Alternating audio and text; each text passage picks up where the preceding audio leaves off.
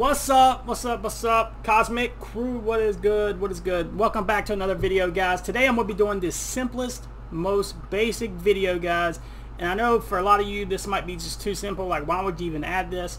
But to be honest, I get a lot of questions, you know, like some of the basic stuff that you think anybody would know, right? So basically we're just going to go over this slide cancel, guys and how this works in Warzone and with your Cronus, how it makes it so much more easier, guys. If you're not using the slide cancel mod in either the Taylor Drift script or the Pro Pack, make sure you turn it on. It's very, very simple. In the Pro Pack, guys, all you have to do is go down to the global mods and then hit slide cancel now, of course, you can use slide cancel with a combination of whatever other mods you want to use, such as the uh, Turbo Melee, Shake Reload, which I do not use. Uh, I do not recommend Turbo Melee and hair triggers. I only use slide cancel though, to be honest. That's just what works best for me. But, you know, in itself, guys, all you have to do, turn on slide cancel, and then you'll have to go into Warzone, go into your options, under controller, guys, this is very important. Make sure you have vibration enabled. Auto sprint does have to be on, guys. Tactical sprint or automatic sprint. I use tactical sprint. If you do not have this on right here, guys, it will not work. So make sure you enable that. And then, of course, the controller vibration has to be enabled. And then I'll switch back, guys. You can go back. And like I said, in the game pack itself, you can block the game rumble. Same thing works for the Taylor Drift script, guys. Now, of course, to enable it on the Taylor Drift script, you're going to have to actually go in on the menu on the LCD on the Cronus and then scroll over to the uh, hop shot and drop shot, I think, or the jump shot mods.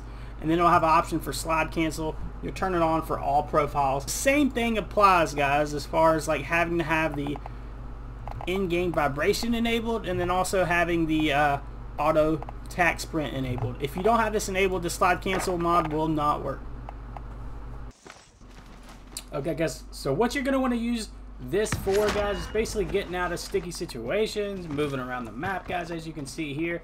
I was trying to carry a buddy to a win and um, you know we had a pretty tough lobby to be honest so we're kind of take it slow but this helps as far as just getting away from the enemies as you, see, as you can see guys all you have to do is just tap circle or whatever slide button you use and you'll be able to slide cancel your way all the way out of danger or to the next fight um, it's very simple but it's so important to use this nowadays guys with all the snipers you're seeing you know you've got to have good movement in the game right so this slide cancel mod is probably the most important mod I would say besides the anti-recoil uh, so definitely use this mod. Let me know what you guys think if you use the slide cancel mod or if you use any other mods, guys. I wasn't a fan of the auto reload, like I said.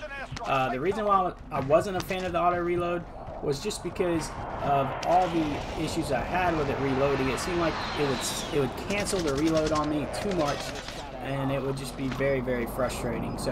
Uh, you know, if it's doing that to you guys, like I said, I would just recommend, uh, you know, kind of disabling the you know, fast reload and then also, you know, with the Turbo Melee, I was experiencing problems wherever I would actually start meleeing when I was in the middle of a gunfight and I was still 10 feet from the guy. So I turned that off. The only mod I'm using right now is Slide Cancel. I will cover these mods, you know, in the next few weeks maybe. We'll do a, a mod video in itself. But, uh, you know, this is the most important, the Slide Cancel mod. It's so much easier than having to hit circle, circle, jump, guys. So definitely use this mod. If you haven't been using it, you are missing out, guys. No doubt about it. Um, so that pretty much covers it on the slide cancel, guys. You do have to make sure you have those settings enabled. Like I said, I will do a video on some of the other mods. But I'm not a big fan of them, to be honest.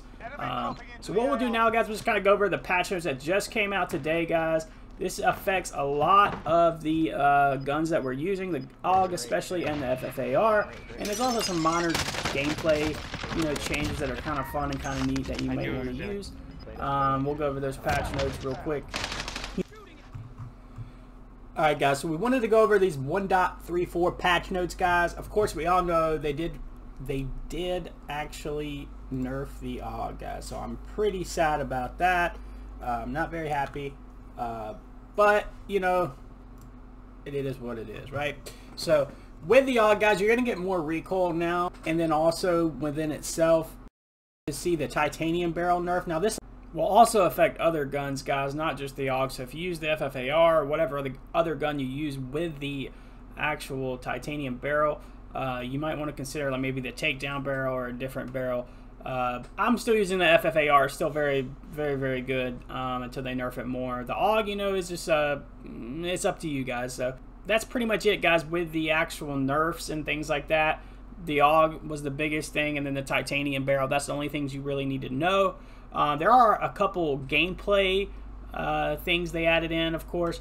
When you do the zombie event downtown in the vault where all the paintings are, guys, if you get that zombie access card, or if you kill somebody, guys, and they have the access card on them, guys, all you have to do is go to the park bunker, and then all you'll all you'll need to do is open that up, and you can actually buy a uh, foresight perk, so you see all the in-game circles, and you can actually do something where you can bomb a certain place downtown. Basically, what it's going to do is drop like 10 clusters on a certain area downtown.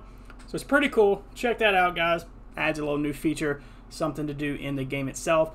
Um, but that's all for now, guys. Read the rest of these patch notes if you want. There's not a whole lot else to read into. Um, I think this will be a good thing for balancing the game overall. I'll probably go to an AMAX FFAR loadout. But I will be doing an M16 video very soon, guys. That's probably going to be the next meta. So pay attention to that. I appreciate all the love. Enjoy the rest of your day, guys. Peace.